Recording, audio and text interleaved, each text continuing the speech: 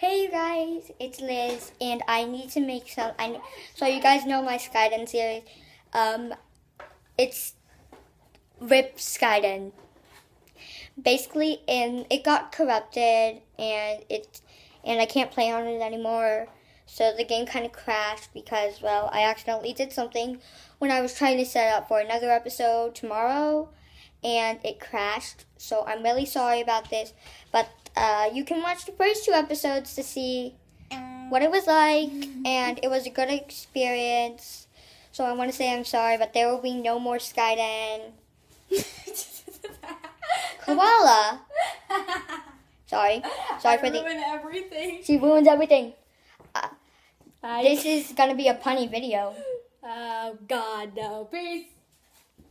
So, so uh, yeah, Why the heck is there a toilet over here? and basically, yeah. So I needed to inform you guys. The file got corrupted. It got corrupted. So yeah. Um, I'll see you guys in the next video. So bye.